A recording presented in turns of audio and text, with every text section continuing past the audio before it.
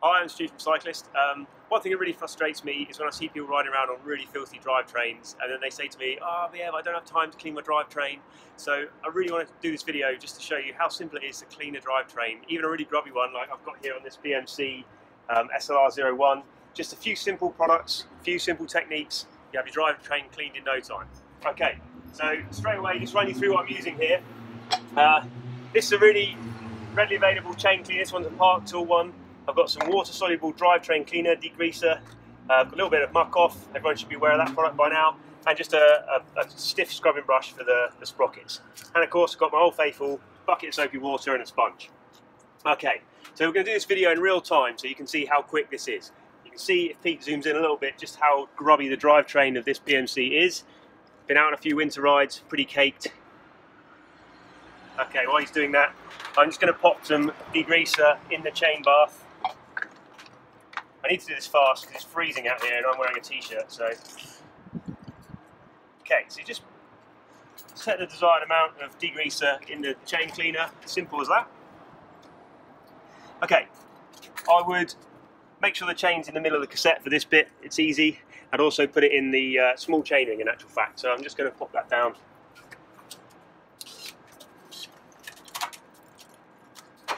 Okay, the chain bath goes on the chain in this position here.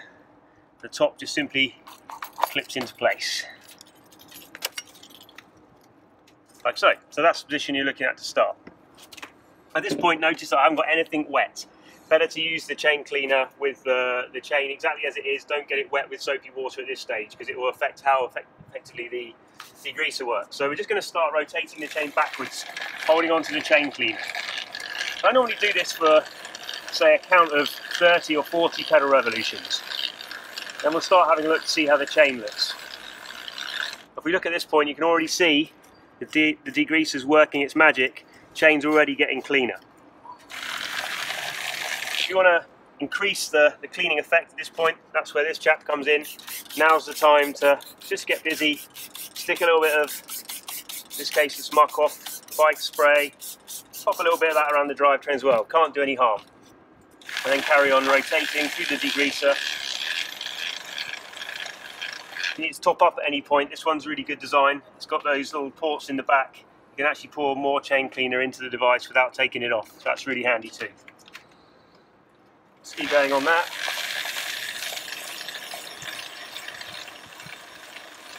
Okay, um, whilst you've got the chain drivetrain in this state, it's a really good idea to drop that off the leftover degreaser you've got in there is still perfectly usable. So I'd actually pour some onto the brush in the cassette at this point and use that and agitate that. Okay, you can use, even just hold the brush on while you rotate the pedals around. Simple techniques that really help for a fast drivetrain degreasing. Again, the other thing is the jockey wheels. Just get in there with the stiff brush, give those a good old scrub. Again, sorry Pete, just move that, oops. Try not to get the chain off. Then, yeah, even just use that on the jockey wheels while you're rotating. Quick scrub around the chain ring sprockets. So right now you can see it looks like a complete mess. And you think to yourself, oh my god, I've made it worse. In actual fact, whilst all that's doing its job, and this is where good old faithful hot soapy water comes in.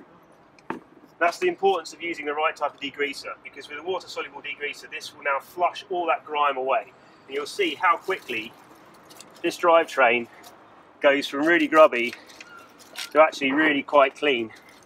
Just literally in a matter of minutes you've gone from having a really dirty bike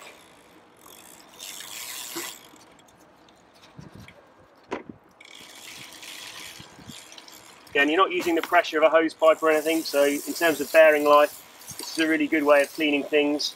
You're not blasting it with a jet wash. You're literally using the power of the product just to keep things nice and clean.